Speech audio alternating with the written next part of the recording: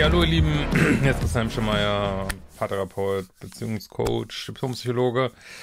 Ja, mal wieder ein kleines Love Island Video für meine Love Island Fans. Und zwar geht es um die Trennung von Dennis und Jenny.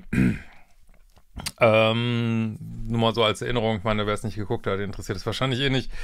Ähm, die sind halt zusammengekommen und dann gab es diese Sache, dass Jenny dann, nachdem die ein paar Tage zusammen waren, plötzlich sagte, ah, ich will auch den Robin vielleicht nochmal kennenlernen und ähm, dann mit Robin gesprochen hat und dann wollte Robin auch nichts von ihr und dann, ach nee, ich bleib doch mit Dennis zusammen so, ne? Und sind ja, glaube ich, weiß nicht, zweite oder so geworden und ähm, ja, und da wurde halt berichtet, dass sie sich direkt ähm, nach der nachdem es abgedreht ist, quasi wurde so berichtet, also ich glaube von Jenny, er hat dann sein Handy in die Hand genommen und dann haben sie sich direkt ähm, hat er sich, also hat er direkt gesagt, ich kann das nicht und äh, ich trenne mich so, ne? Nachdem er vorher aber auch da bei Aftersun noch gesagt hatte, ja, es hat Potenzial und alles ganz toll und ja, und ich dachte, das nutze ich mal wieder so als,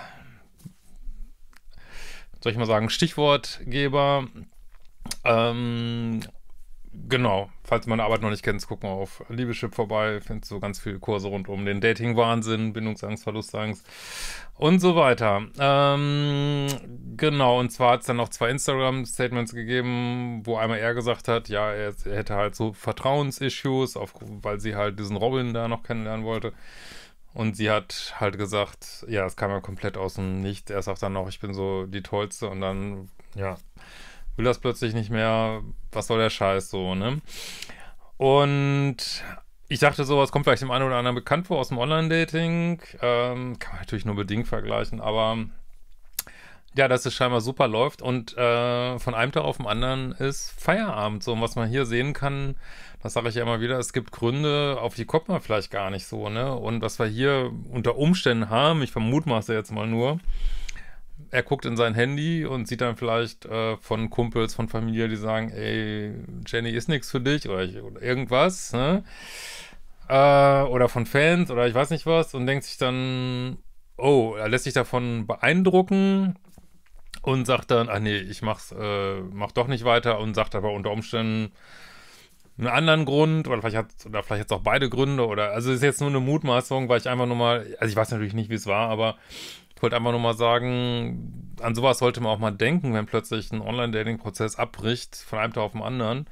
Vielleicht einfach, einfach nur die Freundin gesagt, du, da ist nichts für, das passt nicht oder äh, lass das oder es wird doch nichts. Und wenn man noch nicht komplett verknallt ist, deswegen sage ich auch immer, man sollte Freunde vielleicht nicht zu früh hinzuziehen, weil am Anfang können die ja manchmal echt rausreden. Also das könnte ja durchaus passiert sein. Oder es ist halt tatsächlich ähm, dieses Vertrauensthema, nur dann fragt man sich, wieso, also gut, gibt es natürlich auch tausend Antworten drauf, aber fragt man sich, wieso sagt er in der Sendung, du bist die Geilste und dann geht er raus und sagt, ich habe ein Vertrauensissue. Natürlich kann man total verstehen, also wenn ich jetzt jemand daten würde und der sagt dann, ah, ich muss gerade noch jemand den anderen kennenlernen äh, zwischendurch und ach nee, ist doch nichts, mach mit dir weiter, wird einem im Realdating natürlich total stören. Andererseits ist es wiederum im Kontext dieser Sendung, wo es ja darum geht, verschiedene Date-Optionen auszuloten, ist es leider wieder okay. Aber kann man sich schon verstehen, dass er das seine Vertrauenssachen da anträgert.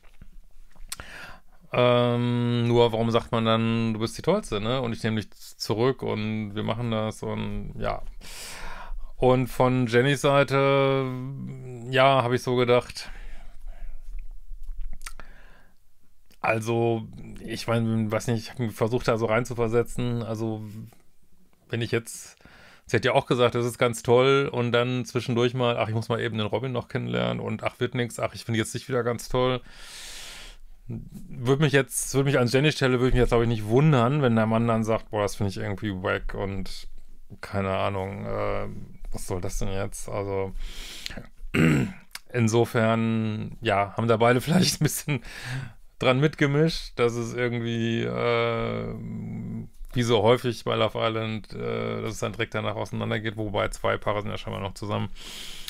Ähm, und sollten sich vielleicht, tun sie ja auch nicht übermäßig, aber sollten sich vielleicht auch nicht zu sehr beschweren. Es ist natürlich immer die Frage auch, heutzutage wissen die ja, die können leicht so Reality-Stars werden durch Love Island und vielleicht ist einem das eine oder andere auch egal, Hauptsache man bleibt bis zum Ende drin und ähm, ja, kann dann solche Statements dann auch abgeben, kann auch sein. Aber wie gesagt, ich wollte es so mal nutzen, wenn so ein Dating-Prozess plötzlich abbricht.